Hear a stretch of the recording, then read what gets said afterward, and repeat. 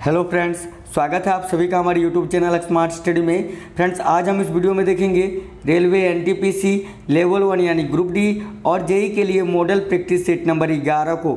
और फ्रेंड्स इस वीडियो में 30 क्वेश्चन होंगे जनरल साइंस जनरल नॉलेज और करेंट अफेयर्स के। तो फ्रेंड्स पूरा वीडियो को देखिएगा, एक भी क्वेश्चन को स्कीप मत करना। और फ्रेंड्स इससे पहले 10 मॉडल प्रैक्टिस सेट मैंने प्रोवाइड करा रखा है। सारी वीडियोस का लिंक आपको वीडियो इस वीडियो के डिस्क्रिप्शन में मिल जाएगा, वहाँ से आप देख सकते हो। और फ्रेंड्स एक ज़रूरी बात ध्यान देना 30 क्वेश्चन है। 30 में से एक क्वेश्चन के लिए आपको पाँच सेकंड का समय दिया जाएगा। आप लोग जो है मन में आंसर सोच सकते हो या कमेंट करके भी बता सकते हो, लेकिन वीडियो के लास्ट में आपको कमेंट करके ये बताना है कि 30 में से कितने क्वेश्चन करेक्ट हुए हैं। तो फ्रेंड्स चलिए शुरू करते हैं। सभी साथियों से रिक्वेस्ट है प्लीज़ सभी साथी वीडियो को लाइक कर दीजिएगा शेयर कर देना और चैनल को ज़रूर सब्सक्राइब कर लेना, जो भी साथी पहली बार चैनल में आए हो। ध्यान दीजिए साथियों, पहला क्वेश्चन स्क्रीन पे। पहला क्वेश्चन फुलहर झील भारत के किस राज्य में है? साथियों, इस क्वेश्चन का आंसर आपको मन में सोचना है वीडियो क्लास में फिर कमेंट करके बताना है। ध्यान देना सभी साथी, फुलहर झील भारत के किस राज्य में है? उत्तर प्रदेश में। याद रखना ऑप्शन नंबर बी इस क्वेश्चन का बिल्कुल ही करेक्ट आंसर आएगा। साथियों option number B Uttar Pradesh. Next question question number दो। वर्ष 2060 तक कौन सा देश विश्व का सबसे अधिक मुस्लिम जनसंख्या वाला देश बन जाएगा? क्या आंसर आएगा इस क्वेश्चन का? सभी साथी बताएँगे। साथियों ध्यान देना, इस क्वेश्चन का करेक्ट आंसर आएगा ऑप्शन नंबर ए भारत। वर्ष 2060 तक भारत जो है, सबसे अधिक मुस्लिम आबादी वाला देश बन जाएगा। ऑप्शन नंबर ए इस क्वेश्चन का करेक्ट है। सभी साथी याद रखना। नेक्स्ट क्वेश्चन क्वेश्चन नंबर तीन। भारत ने पाँच अप्रैल को कौन सा दिवस मनाया? और साथियों, ध्यान देना सभी साथी, इस क्वेश्चन का बिल्कुल ही करेक्ट आंसर आएगा ऑप्शन नंबर डी राष्ट्रीय समुद्री दिवस। पाँच अप्रैल को राष्ट्रीय समुद्री दिवस मनाया जाता है। सभी साथी याद रखना ऑप्शन नंबर डी इस क्वेश्चन का बिल्कुल ही करेक्ट है। Next question question number four 2020 ग्रीष्मकालीन ओलंपिक की मेजबानी कौन सा शहर करेगा? और साथियों, इस क्वेश्चन का करेक्ट आंसर आएगा option number C Tokyo Japan 2020 में होने वाली ग्रीष्मकालीन ओलंपिक की मेजबानी टोक्यो शहर करेगा, जो कि जापान में स्थित है। इससे पहले 2016 में ब्राज़ील के रियो डी जेनेरियो में ओलंपिक खेल हुआ था और प्रत्येक चार वर्ष के बाद ओलंपिक खेल का आयोजन होता है। तो साथियों 2016 के बाद, चार वर्ष के बाद 2020 में टोक्यो में खेला जाएगा, याद रखना। Next question question number five हाल ही में किस राज्य ने वायु प्रदूषण को रोकने हेतु इलेक्ट्रिक बसों की मंजूरी दे दी है? और साथियों, ध्यान देना सभी साथी, इस क्वेश्चन का करेक्ट आंसर आएगा option number C Delhi. Next question question number six Bharat के किस राज्य के विधानसभा का कार्यकाल छः वर्ष का होता है? साथी ध्यान देना सभी साथी, इस क्वेश्चन का बिल्कुल ही करेक्ट आंसर आएगा option number B Jammu Kashmir. Jammu Kashmir राज्य के विधानसभा का कार्यकाल छह वर्ष का होता है। ऑप्शन नंबर बी इस क्वेश्चन का करेक्ट है। Next question question number seven किसी प्रजाति को विलुप्त माना जा सकता है जब वह अपने प्राकृतिक आवास में देखी नहीं गई हो? कितने वर्षों से? साथियों, ध्यान देना, इस क्वेश्चन का बिल्कुल ही करेक्ट आंसर आएगा ऑप्शन नंबर सी पचास वर्ष से। किसी भी प्रजाति को विलुप्त माना जाता है अगर वो अपने प्राकृतिक आवास में देखी नहीं गई हो 50 वर्षों से तो याद रखना ऑप्शन नंबर सी इस क्वेश्चन का करेक्ट है। Next question question number eight प्राकृतिक यूरेनियम यानी यू टू थ्री फाइव में कितना प्रतिशत यूरेनियम होता है? साथियों वेरी वेरी इंपॉर्टेंट क्वेश्चन है। ध्यान देना सभी साथी।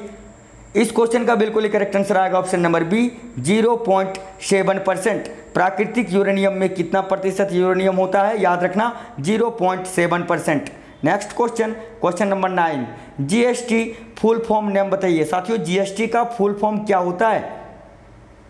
ध्यान देना सभी साथी, इस क्वेश्चन का बिल्कुल ही करेक्ट आंसर आएगा option number A goods and services tax और साथियों जीएसटी को भारत में कब लागू किया गया था? एक जुलाई 2017 को। ठीक है? एक जुलाई 2017 को। ये याद रखना, और सबसे पहले जीएसटी लागू करने वाला देश कौन सा था?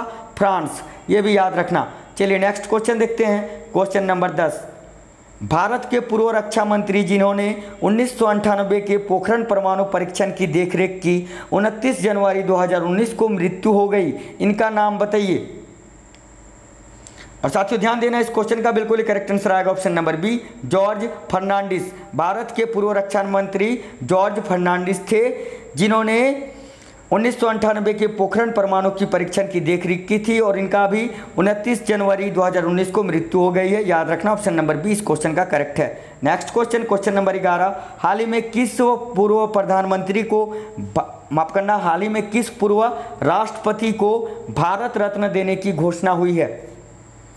और साथियों, ध्यान देना, इस क्वेश्चन का करेक्ट आंसर आएगा option number C, Shri Pranab Mukherjee ji को। श्री प्रणब मुखर्जी जी श्री प्रणब मुखर्जी जी भारत के पूर्व राष्ट्रपति थे और इनको अभी भारत रत्न देने की घोषणा की गई है। याद रखना ऑप्शन नंबर सी इस क्वेश्चन का बिल्कुल ही करेक्ट है। नेक्स्ट क्वेश्चन क्वेश्चन नंबर बारह। ललित कला अकादमी की स्थापना कब हुई? और साथियों, ध्यान देना सभी साथी, इस क्वेश्चन का करेक्ट आंसर आएगा ऑप्शन नंबर बी उन्नीस सौ चौवन में ललित कला अकादमी की स्थापना उन्नीस सौ चौवन में हुई थी और इसका मुख्यालय न्यू दिल्ली में है, ये भी याद रखना। नेक्स्ट क्वेश्चन क्वेश्चन नंबर तेरह। हाल ही में कौन से देश में बिना ड्राइवर के बुलेट ट्रेन चलाई गई है? साथियों वेरी वेरी इंपॉर्टेंट क्वेश्चन है, ध्यान देना। चीन इस क्वेश्चन का करेक्ट है ऑप्शन नंबर सी चीन देश ने हाल ही में अभी बिना ड्राइवर का बुलेट ट्रेन चलाया है। याद रखना ऑप्शन नंबर सी इस क्वेश्चन का करेक्ट है। नेक्स्ट क्वेश्चन क्वेश्चन नंबर चौदह। ओबीडी ओविस, किसका वैज्ञानिक नाम है? साथियों, आपको बताना है, ओबीडी ओविस, किसका वैज्ञानिक नाम है? ध्यान देना सभी साथी, इस क्वेश्चन का करेक्ट आंसर आएगा ऑप्शन नंबर डी भेड़ की। ओबीडी ओविस, किसका वैज्ञानिक नाम है साथियों? भेड़ की। ऑप्शन नंबर डी इस क्वेश्चन का बिल्कुल ही करेक्ट है। नेक्स्ट क्वेश्चन क्वेश्चन नंबर पंद्रह। कोशिका का इंजन किसे कहते हैं? और साथियों, इस क्वेश्चन का करेक्ट आंसर आ जाएगा ऑप्शन नंबर ए राइबोसोम को याद रखना। कोशिका का इंजन राइबोसोम को कहते कहते हैं। और कोशिका का पावर हाउस यानी पावर हाउस ऑफ़ सेल किसको बोलते हैं? माइट्रोकॉन्ड्रिया को। ये भी याद रखना। नेक्स्ट क्वेश्चन क्वेश्चन नंबर 16 ध्यान देना सभी साथी, भारत में सर्वप्रथम स्थापित होने वाला बैंक कौन सा है? और साथियों, याद रखना, इस क्वेश्चन का बिल्कुल ही करेक्ट आंसर आएगा option number D bank of Hindustan bank of Hindustan Bharat में स्थापित होने वाला पहला बैंक है। याद रखना नेक्स्ट क्वेश्चन क्वेश्चन नंबर सत्रह। हमारे एक जोड़ी नेत्र खोपड़ी में स्थित अस्थिगति को क्या कहते हैं? और साथियों, ध्यान देना बहुत ही अच्छा क्वेश्चन है। इस क्वेश्चन का करेक्ट आंसर आएगा ऑप्शन नंबर सी नेत्र कोटर। हमारे एक जोड़ी नेत्र खोपड़ी में स्थित अस्थिगति को नेत्र कोटर बोलते हैं। याद रखना ऑप्शन नंबर सी इस क्वेश्चन का करेक्ट है। नेक्स्ट क्वेश्चन क्वेश्चन नंबर अठारह। बैक्टीरिया जनित रोग कौन सा है? साथियों, बताना इनमें से कौन बैक्टीरिया जनित रोग है?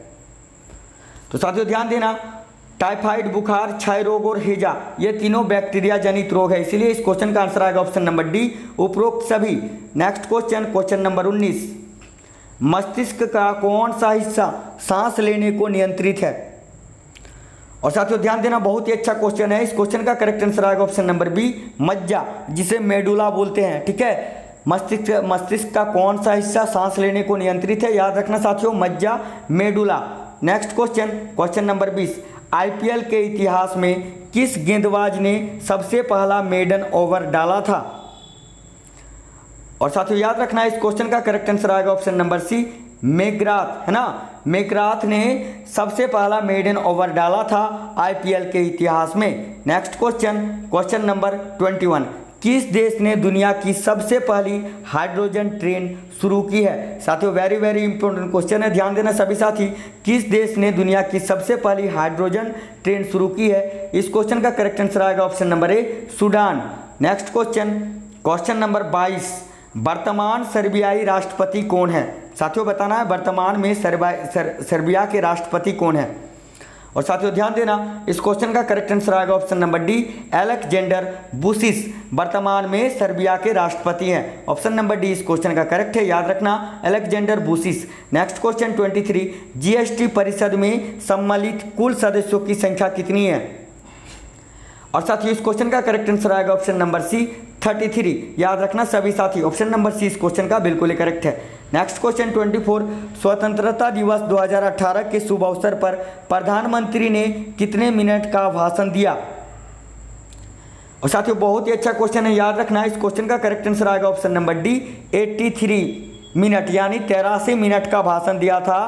अगला क्वेश्चन क्वेश्चन नंबर 25 इनमें से कौन पहले भारतीय थे जिन्हें उनके जीवन काल में ही डाक टिकट पर चित्रित किया गया था?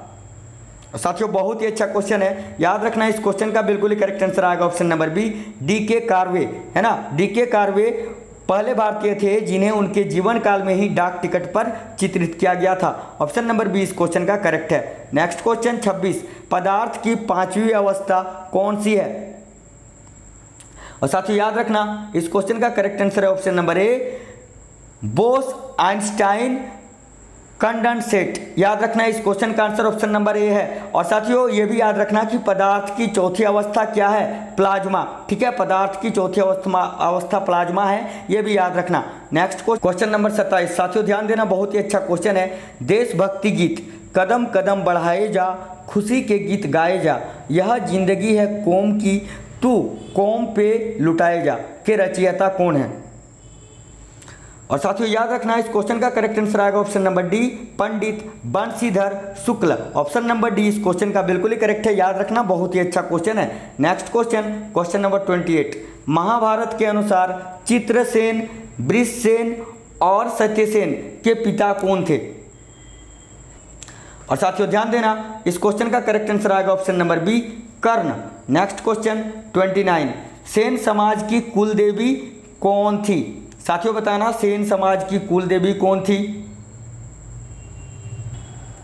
और साथियों, इस क्वेश्चन का करेक्ट आंसर आएगा option number A Narayani Mata. Sen समाज की कुल देवी कौन थी? नारायणी माता। ऑप्शन नंबर ए इस क्वेश्चन का बिल्कुल ही करेक्ट है, सभी साथी याद रखना। अगला क्वेश्चन क्वेश्चन नंबर तीस। विश्व की एकमात्र देवी, जिसकी पीठ की पूजा की जाती है। साथियों वेरी वेरी इंपॉर्टेंट क्वेश्चन है, ध्यान देना। विश्व की एकमात्र देवी, जिसकी पीठ की पूजा की जाती है।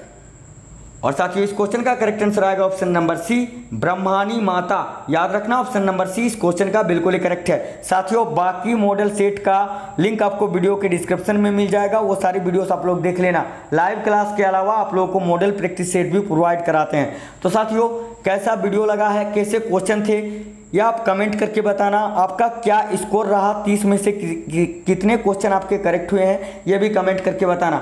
साथियों प्लीज़ सभी साथी वीडियो को लाइक कर देना, शेयर कर देना अपने दोस्तों के साथ और जो भी चैनल में पहली बार आए थे, चैनल को ज़रूर सब्सक्राइब कर लेना। सभी से मिलते हैं अगली वीडियो में, तब तक के लिए जय हिंद साथियों, वंदे मातरम।